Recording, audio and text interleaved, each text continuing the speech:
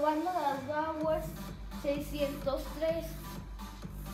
Yo, el niño audiófilo, te invito a que te suscribas al canal de JMI Audio.